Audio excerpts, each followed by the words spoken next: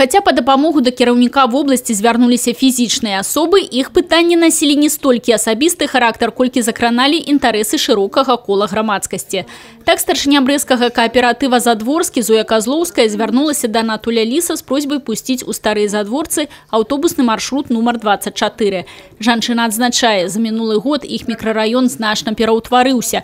Праведзена каналізацыя за асфальтаваны дарогі, зроблена новае асвятленне, а вось грамадскага транспарту няма. На данный момент очень такой больной вопрос – это транспорт. А у нас детки уже подрастают новое поколение, и много уже пожилых людей, у которых, конечно, достаток пенсии, не настоль позволяют э, заказывать там такси частные.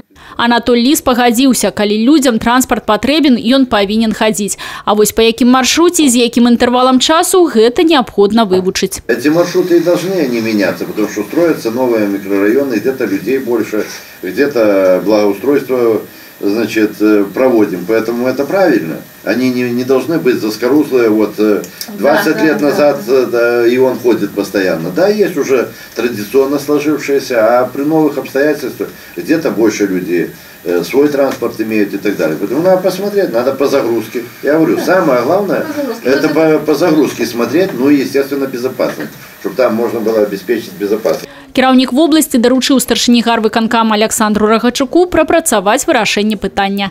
Зоя Козлоўская вынікам прыёму засталася задаволена. Проанализирует загруженность этих маршрутов, ну и так, э, маршрутное такси еще там планируется, шестое, там какой там одиннадцатка, может двоечку. Вот. И тогда этот вопрос будет решен положительно. У жыхароў вёскі радванічы брэскага района таксама пытанні калектыўныя. Яны звярнуліся з просьбай аказаць дапамогу ў афармленні праваўстанаўліваючых дакументаў на газапровод, які правялі за ўласны кошт. Пытанне патрабуе дадатковага дэталёвага вывучэння, таму Анатоль Ліс узяў яго на асабісты кантроль. Скарысталіся магчымасцю трапіць на прыём да кіраўніка вобласці не толькі жыхары Брэста і брэскага района. Так жыхар Іванова падзяліўся з Анатолем Лісам думкай наконт устаноўкі ў іх горадзе помніка лабуру. Так называлі карэнных жыхароў Іванаўшчыны, якія збіралі грошы на будаўніцтва храмаў. Сергей Федарук лічыць, што памятны знак лабуру не зусім адпавядае вобразу іванаўца.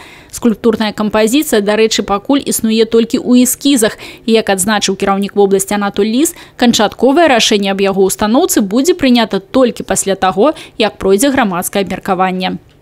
Людмила Салзна, Роман Філюціч, тэлерадыёкампанія «Брест».